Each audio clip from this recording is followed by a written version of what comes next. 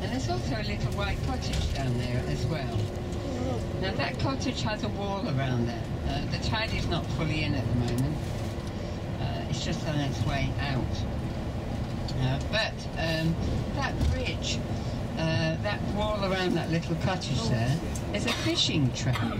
So when the fish are brought in on the tide, uh, because it's a circular wall, uh, they can't then escape. So it's a way of catching fish without using traps or hooks or nets of any kind. It's a natural fishing trap. And uh, families used to live in that little white cottage for many, many years.